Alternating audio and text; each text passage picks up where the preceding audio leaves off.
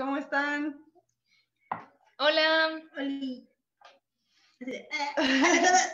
hola, hola. Eh, pues esperemos estén muy bien.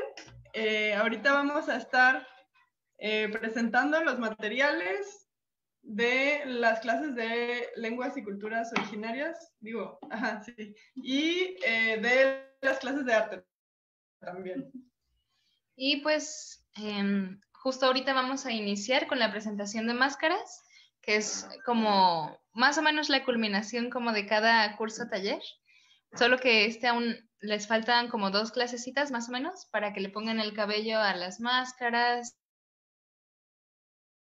Vamos a pasar a verlas. Entonces los paso con Becky. Así es. Hola, hola. Bueno, este es uno de los talleres de arte que hicimos. Eh, duró, bueno, fue un taller intensivo, básicamente porque fue una semana de trabajo. Como mencionó Clau hace rato, todavía no están terminadas, pero pues ya casi. Aquí al fondo están todos los estudiantes con sus mascaritas. Eh, bueno, les comento un poquito, los testuanes son bueno, es que como una, es una cultura que está en Tonalá, ellos hacen sus jugadas o fiesta cada año, eh, dejando a Santo Santiago, me, parece que, es. Y bueno, eh, me voy a salir tantito yo de cámara, los dejo con Olmo y con Sinaí y con Rosario, que nos está acompañando allá en, en vía remota, para que nos platiquen un, un poquito de cómo fue su proceso, eh, qué les ha gustado del taller, cuál fue la parte más difícil y así.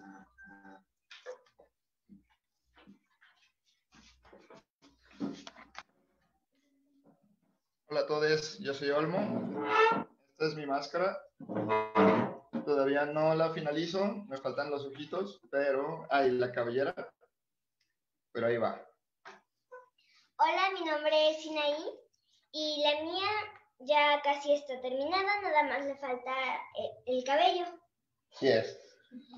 Eh, pues el taller estuvo muy padre. En todo momento el profe, el máster eh, Rodolfo Alex Pila nos acompañó y nos contó la historia de los tastuanes, todo el proceso que conlleva realizar la máscara.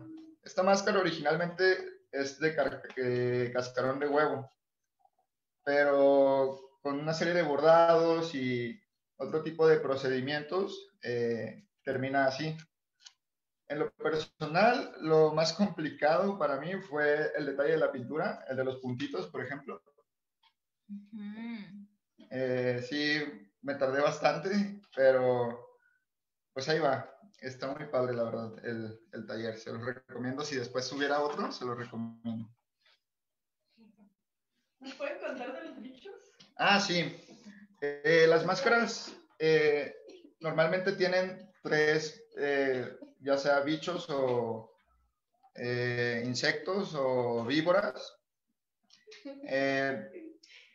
esto, esta explicación es porque durante la conquista española las, las, personas de los pueblos originarios se tuvieron que escapar al campo o a cuevas para resguardarse y estando ahí eh, obtuvieron, los puntitos representan la viruela y los insectos representan eh, pues los bichos que se les fueron adheriendo al cuerpo. Normalmente son tres, yo en este caso elegí serpientes porque me gusta mucho como la simetría, ¿no? ¿Tú cuáles escogiste? Yo elegí una araña, una babosa y una, una rana y una serpiente. ¿Puedes mostrarlos a la cámara? Para ver, está bien chida la ranita. ¡Wow! Está súper chida. ¿Y van a ir para las corridas? ¿Las van a estrenar? Yo creo que yo sí voy a ir a, a la cuereada o la danzada, no, no, recuerdo cómo. Bueno, hay varios términos, nos explicaba el, el profe eh, Rodolfo Alex Pila. Eh, pero yo creo que yo sí me voy a animar, pero no estoy seguro todavía. Bueno, de hecho, este, queda la, la invitación que nos hizo Alex este, a todos los alumnos y a los miembros del colectivo justo para que fueran a estrenar sus máscaras allá a Tonalá a, una oh. jugada este, y pues nos invitó a parte de su comunidad, a conocer más la, la historia yo creo que ya que estén las máscaras al 100, Allá vamos a andar vemos. por allá. Súper. Súper Eh, bien. Rosa. Y ahora, Rosy, Rosy, ¿quieres enseñarnos tu máscara?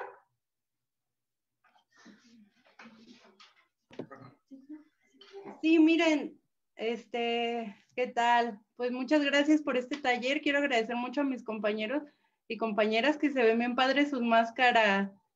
Está muy chido. Ya quiero que vean la mía también y, y eso, lo que decían, que falta ponerle el cabello. Apenas estoy terminando esta parte porque como dice Olmos, es muy tardado los puntitos que representan la viruela, ¿verdad? Que trajeron los españoles este, al momento de la conquista. Este, y también vimos en máscaras antiguas de las que son de barro que unas, no sé si se acuerdan que tenía unas hojas pintadas y quise ponerle una hojita también. Este, y yo le puse de tres animales una rata, que me falta darle detalles para que se vean, para que se distinga más. Ahorita como que no se alcanza a ver el morado, este es morado y verde. Una serpiente, le dibujé co- coralillo, falsa coralillo y una arañita una capulina y ya, pues me falta todos estos detalles.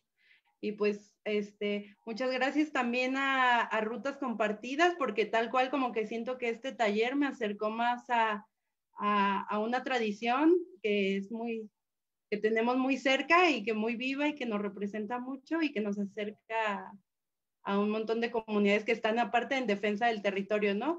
Como nos contaba nuestro maestro Rodo, este, que están en defensa todavía, ¿no? De, del Cerro de la Reina. Y pues nada, eso. Muchas gracias, chido. Muchas gracias, Rosy. Este, si no ibas a agregar algo de la máscara, un dato curioso. Los dientes son reales, los dientes de la máscara son reales. Son de chivo. Órale. ¿Y fue difícil hacer la máscara? O sea, como yo que no soy, que soy medio torpe con las manos, Pues- ¿creen que me saldría bien? Sí, pues bueno, sí, es que la verdad el profe nos da un buen acompañamiento. A mí en lo particular, algo que se me complicó mucho es que a la hora de unir la máscara, este, tiene, se realizan bordados. Y yo la verdad no, no, mis manos no están acostumbradas a bordar y me costaba mucho. Eh, pero no, en general el acompañamiento del profe fue tan bueno que no es nada complicado. Mm, ya las quiero ver terminadas. Sí. Sí, ahí estaremos subiendo fotitos, yo creo, cuando las Sí, ya, ya que estén terminadas, así porque falta además otra compañera del grupo que no puede estar aquí. Eh, pero pues ya si siguen la página de Facebook, ahí ya van- pueden ver las máscaras ya terminadas al 100, ya que estén con su peluca y todo. Wow. Pues va. Entonces, ¿les gustaría agregar algo más? ¿O pasamos a la siguiente presentación? Pues yo solo agradecer al profe eh, Rodolfo Alex Pila y a Rutas Compartidas por brindarnos su espacio. Estuvo muy chido, la verdad. Ojalá que sí se arme otro tallercito pronto para que puedan asistir más personas, porque ya vi que Citlali dijo que quería venir tal vez. y Jacqueline también les mandó un mensaje de que le gustó mucho. La creatividad de Sinaí. Muchas gracias. Muchas gracias. Y bueno, nosotros salimos para continuar con el programa. Muy bien. Con permiso.